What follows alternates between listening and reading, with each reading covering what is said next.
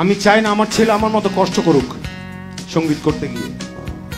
এই দেশে সংগীত যেদিন স্বীকৃতি পাবে, সঙ্গীতের শিল্পীর যেদিন মর্যাদা বাড়বে, শিল্পীদের যেদিন দুস্থ শিল্পী বলা হবে না, সেদিন আমার ছেলে এটাকে প্রফেশন হিসেবে এর আগে পর্যন্ত আমার ছেলেকে আমি বলেছি, লেখাপড়া করো, শিক্ষা নাও, যত করো আমার বুকে বাবার বুকে সমস্ত কিছু।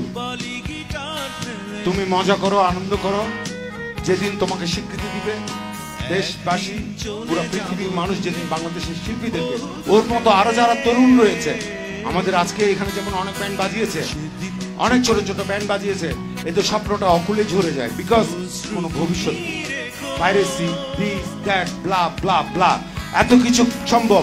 এটাই সম্ভব না মিউজিকটা প্রোটেক্ট করা যায় না। শুধু কনসার্টের ডিক্লারেশন হলে সবার প্রশ্ন টিকিটের দাম কত? টিকিট না ফ্রি মনে হয় বিষও ফ্রি পাওয়া যায় না, কিন্তু গান ফ্রি পাইতে হবে। যারা গান ফ্রি খোঁজে, তাদের জন্য গান আর নেই, গান মারা গেছে। যারা গান খোঁজে ফ্রি তাদের জন্য আমি ডিক্লেয়ার করে দিলাম, গান মারা গেছে, গান নেই আসলে। কারণ শিল্পী আর বাঁচবে না এইভাবে। শিল্পী বাঁচতে হলে, দুস্থ শিল্পী না হতে হলে তাজদের মতো যারা পড়ালেখা করে আর্নাবদের মতো যারা এসছে, তাদেরকে যদি আপনারা বাঁচিয়ে রাখতে চান বাংলাদেশের বুকে আপনারা একটা কিছু বিহিত করুন।